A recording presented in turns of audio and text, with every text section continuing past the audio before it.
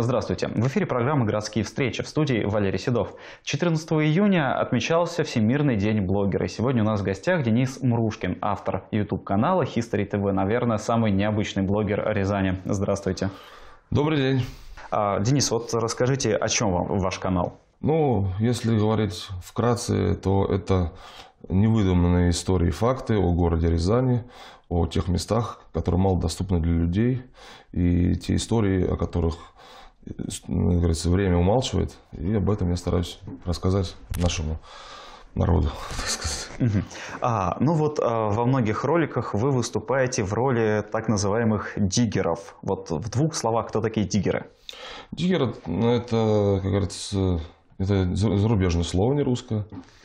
Вот. А, это значит лазить, копаться, докапываться, что-то там выкапывать, выискивать. Вот, собственно. Э, я для себя вижу слово диггер это как какой-то, не знаю, человек, который лазит по канализациям, что ли, не знаю, как-то так. Ну, а как бы вы себя сами назвали? Ну, я считаю, что вот, эти вот, вот это вот увлечение диггерства, будет грамотно неправильно сказать, что это можно отнести к одной из направлений краеведства, потому что краеведение может быть и в архитектуре, и краеведение может быть по э, там, природным всяким ресурсам, ископаемым, а это изучение подземной составляющей, что немаловажно, потому что история все со временем прячет под землю, и это там находится, об этом тоже люди рассказывают. Мне кажется, это больше такое, более как краеведство, что ли, наверное, не знаю, как-то так. Как э, родился канал History TV?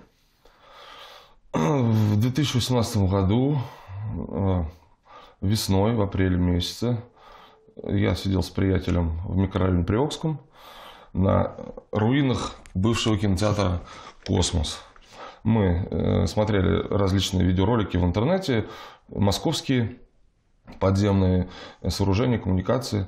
И нам пришла в голову идея, почему бы у нас в Рязани не посмотреть, не заинтересоваться вообще вот этой вот темой.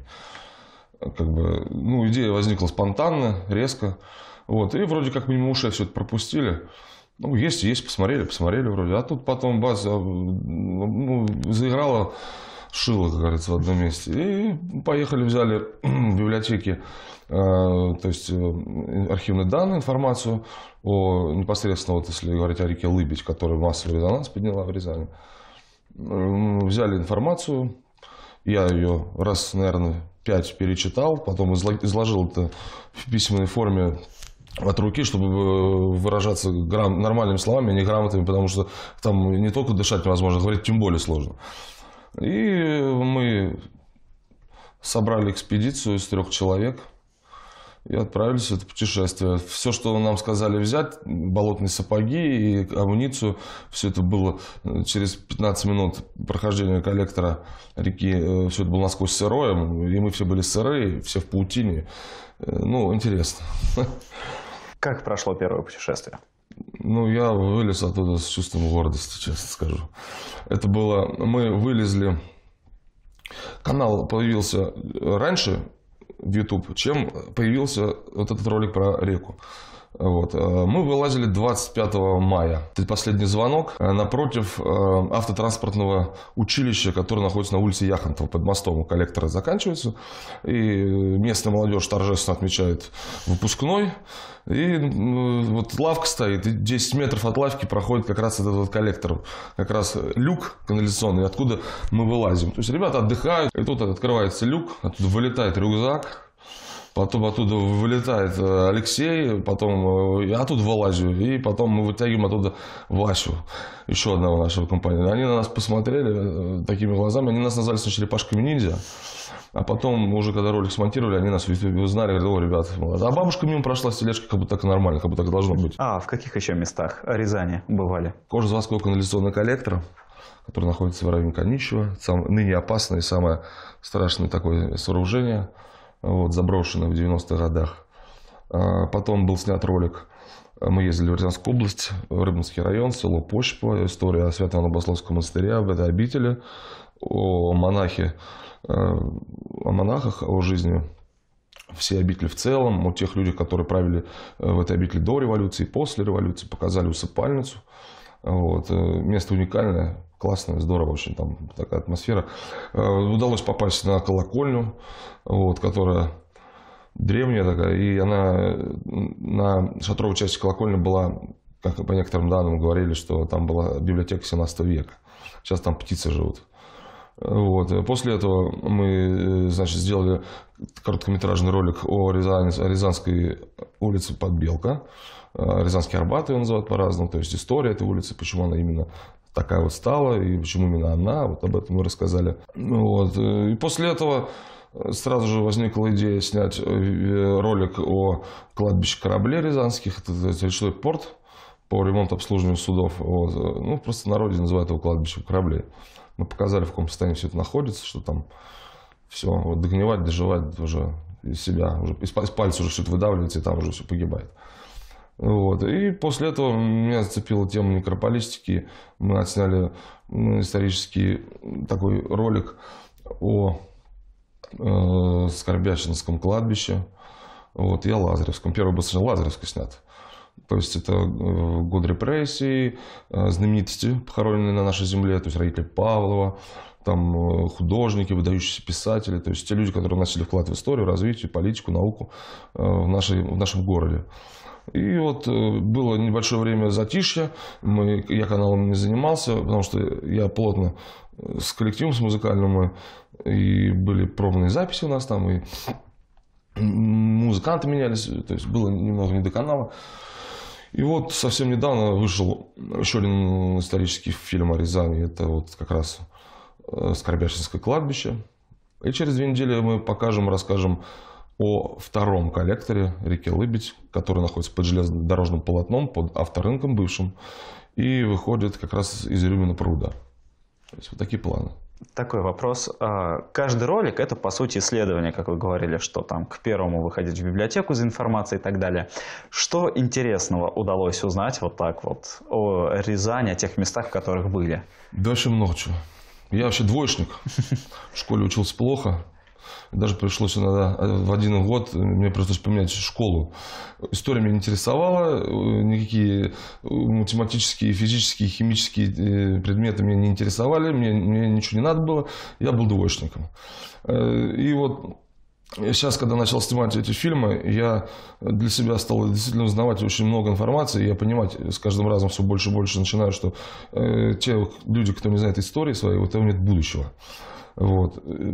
Потому что вот я, например, открываю страницы вот того же самого последнего вот ролика вот про э, Скорбя... Скорбящинское кладбище.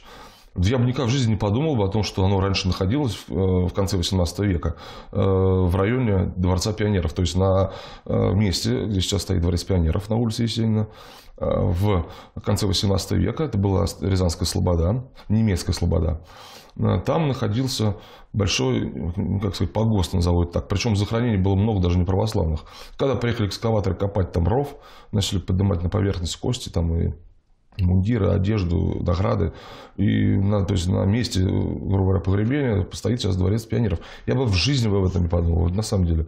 Я бы никогда не додумался бы, не догадался бы о том, что э, Макс Факторович, если правильно говорят, знаменитый косметик Макс Факторов, была придумана именно в Рязани.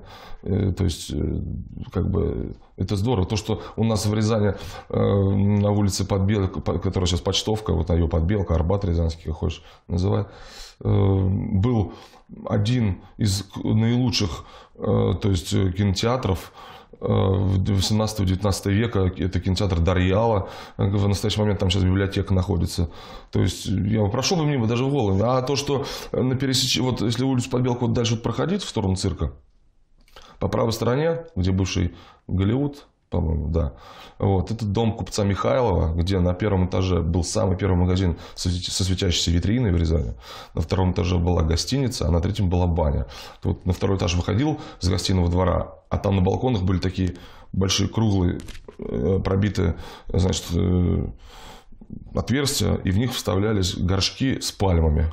То есть человек, приезжавший, купец мимо, мог выходить на улицу э, в средней полосе России, а у него из окна пальма растет. Все, вот я не знал, а теперь знаю. И вот как бы стараюсь донести это до э, людей, которые как бы тоже заинтересованы историей Рязани. Самый запоминающийся ролик и его съемки? Улыбец, наверное. Почему? Почему ну, она? потому что это был кошмар.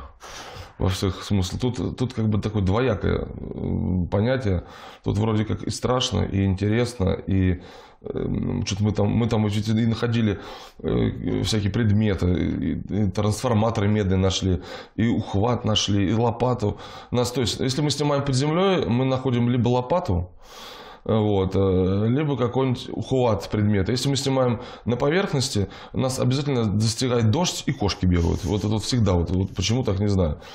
И как бы, наверное, лучше всего вот э, для меня точкой отправки – Э, и заинтересованностью, и вообще массовым резонансом, и интересом резонансом, которые писали в комментариях, что вот мы гуляем с коляской с детьми по Лыбецкому бульвару и даже не знали о том, что вот на глубине там 3-5 метров под нами настоящая река течет, которая имеет богатую историю, которую замуровали в коллектор. И пишут спасибо. Кто-то обсуждает как раз экологические моменты э, этой реки. То есть, ну, э, вот Лыбедь, сто процентов Лыбедь. А коллектор на кожзаводе вы назвали самым опасным. Почему? Потому что, во-первых, это самое глубокое место в Рязани. Вот, э, то есть оно не имеет никаких вентиляционных шахт. Вот если мы по Лыбеде шли там ливневки, то есть можно поднять голову над ливневкой и увидеть, как пролетают автомобили. То есть поддон Картера или нога наступила человек, это можно все было пронаблюдать. А когда идешь на глубине более 22 метров, а, и два рукава, которые наполовину затоплены, один вообще затоплен, второй там просто вот с углинок, глина, идешь и просто у тебя нога сначала по щиколотку тонет, потом она тебя уже э, по берцовую кость начинает тонуть, и потом ты уже понимаешь, что дальше идти невозможно, страшная нехватка кислорода, вот, плюс еще есть такая опасность, как выброс метана. Вот, э, что влечет взрывоопасными моментами, это очень опасно. Вот. Ну и сонливое состояние, потому что чем меньше кислорода, тем человек начинает размаривать и прочее. Очень жарко. Ни одной живности мы там не обнаружили. Мы думали, он жучок, паучок. Ни одной растительности, ни одной живности. Просто вот такое вот мертвое, холодное э, то есть помещение. Вот это. Тюбинги полуобвалившиеся. Э, вот эти бетонные стены. Э, бетонные рукава, вот эти вот, все это лежит просто холодным мертвым грузом. И ржавая лестница, которая только вот на съемке какого-нибудь фильма ужасов ее можно использовать. Вот. И если, не дай бог, э, произойдет какой-нибудь обвал грунта, то на такой глубине, я думаю, вряд ли кто-то будет искать.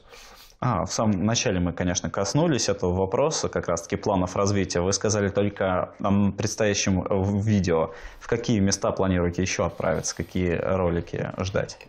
Э, сейчас в планах через вот пару неделек мы отснимем второй рукав реки Лыбеди, который находится непосредственно э, в близости с стадионом ЦСКА. Это вот э, под железнодорожным полотном, бывшим авторынком, и как раз он выходит из Рюмина пруда. Во времена Гаврила Рюмина, когда этот меценат его назову так, вот озером этим занялся, это же по сути получается река Трубиш, она же есть, в смысле Лыбедь. Э, вот. Была построена дамба, насыпь. Потом оно это озеро запрудило немножко. Вот, и со временем появился вот этот коллектор. И вот этот отрезок от железнодорожного полотна, вот где вот идет электричка в район Сасово, вот, э, и вот до реки, вот этот участок, он отреставрирован, мы его покажем. А в будущем еще съемки закулисной театральной жизни рязанских театров. И обязательно покажем ролик, вот есть выражение такое, за Кудыкину гору воровать помидоры. Вот она на самом деле существует, эта Кудыкина гора. Она находится на границе с Рязанской и Липецкой областью, ближе, наверное, к Липецкой. Вот. Мы ее покажем и расскажем, будет интересно. А в будущем вообще, на будущее я планировал в следующем году, через год, через там два. Э, вот ведь есть такие люди знаменитые, Алеша Попович, Добрый Никитич, Илья Муромец. Это действительно настоящие люди, прототипы людей, они существовали, и все они три рязанца.